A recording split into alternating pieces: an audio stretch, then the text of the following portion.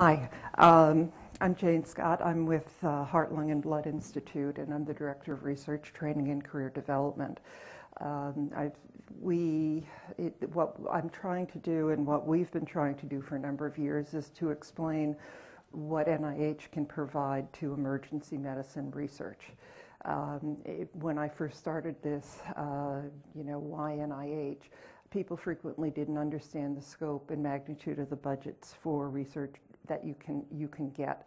Um, it's got 27 institutes, it's three uh, institutes and centers, uh, 31 billion dollars every year for research training.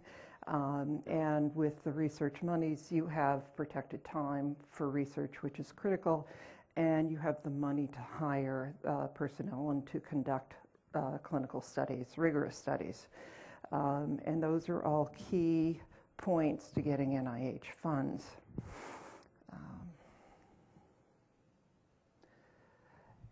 In order to be competitive at NIH, it takes roughly five to eight years of training, um, and it's generally through a combination of awards, um, NIH-funded training awards. Um, and there are institutional awards, which include the T32, the K12, the KL2. The KL2 is through your CTSA, um, and we'll talk about the others in a minute. Uh, and then there are individual awards. So people generally do an institutional training award and then they move on to a um, individual award. The institutional awards are nice because the PI writes them and then they select the trainees. So the, the person who's getting onto a T32 or a K12 doesn't have to write a whole application. They just have to um, inform the or impress the program director. Hi, welcome on board. Come on in. Um, so this is sort of a basic, um, my assumption for getting started in, in uh, NIH.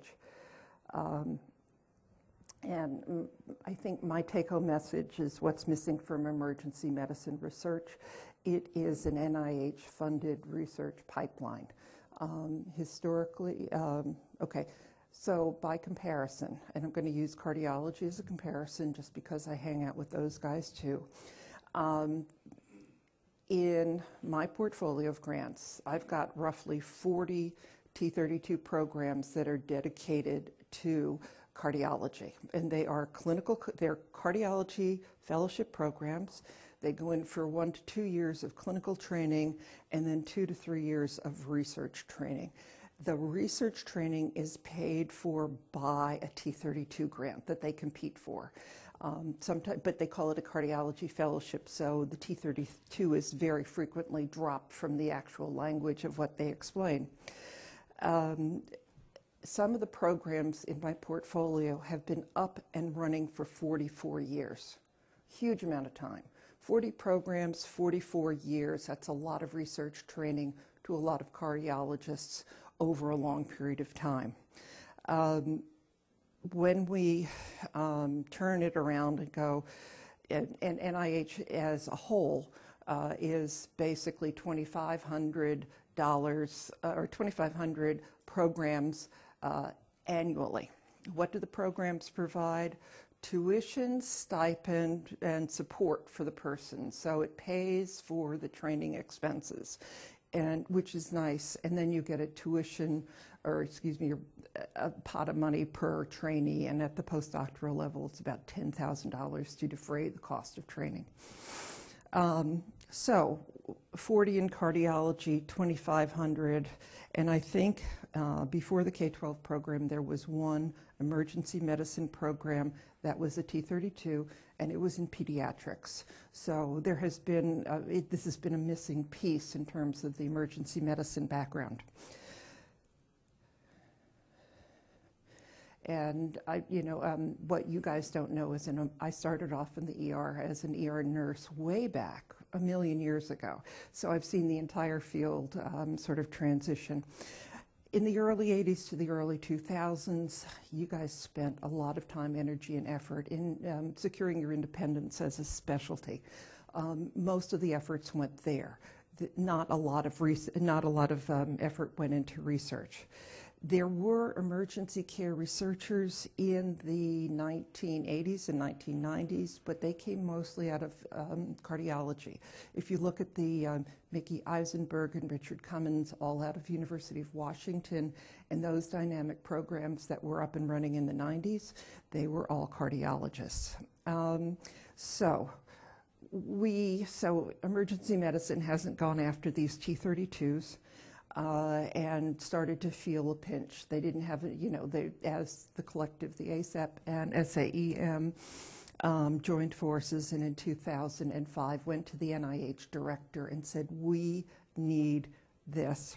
And it left, uh, led to a, a, a, series of events, including, excuse me, um, ah, Dr. Kline it, so it led to a series of events, including um, that there were then workshops, there were articles, there were a lot of uh, activities pertaining to emergency care research. Dr. Kline, come on up. No, no problem. Um, anyway, to make a long story short, uh, from 2005 to 2009, roundtables and publications. In 2013, Jeremy Brown's Office of Emergency Care Research at NIH was created. So NIH is finally, uh, or emergency medicine is finally at NIH. Um, in 2011, I had been part of the Trans NIH working group on this stuff, as well as a lot of other people across NIH and NHLBI, Heart, Lung, and Blood was particularly interested in in saying we need to help out, we need to do something. So we we went ahead and wrote up, a, you know, it's an initiative, it's a one-time offering to create a program to train people in emergency care research. It was an institutional training award. It was funded in, it was rolled out in 2011. The first awards went out in 2012. We funded six centers across the United States Penn, Pitt, Vanderbilt, uh, UC Davis, um, Oregon Health and Sciences Center, and New York, uh, Mount Sinai Hospital, Icahn School of Medicine. So, six programs. Um, and it was $21 million, and everybody was in for two or three years. The metrics of success is did you ultimately get to a, um, an individual K award or did you get to an R award? So, really, really, really pushed from day one that they came into the program. In the first program, we ended up with a total of 43 scholars completing the program. Um, more than 60% have already obtained their individual K award, which is pretty phenomenal. Um, and um, and we just ended in 2017, so there should be some people in that uh, original cohort that will be getting additional awards. Um, we have a second program that Jeremy Brown helped us get up and running, and this is a trans NIH program in emergency care research. Again, NHLBI is funding part of it, um, and then we have partners with NIMH and um, the National Institute for Nursing Research. This time we have four partners. Uh, Indiana, Dr. Kline is running one of the programs, and Dr. Storrow in the room is running one of the other programs. I think my point here is, though, that K 12 programs are temporary. Uh, NIH uses them as temporary bridges. You create a bolus of investigators in a specific domain, and then it goes away. Why? Because there are other new domains that need to be funded. So these are not, these are, they appear, they disappear, they appear, they disappear. We've had two programs, and I, I can't even begin to imagine that we'll have a third. With that said, I've been trying, we've been pushing and talking about T32 programs with um, the research community. Um, two of the original six um, K 12 programs have now, Pittsburgh and Mount Sinai, have now successfully competed for T32 programs, and so they have emergency care research programs that are two to three years in length with the goal of getting people to the K and the R awards. And, whoops, that's about it. And so my bottom line is T32 is uh, where we need to be going. K-12s are wonderful, they're great, but that kind of funding doesn't exist, and, and it's really iffy. Okay, thank you.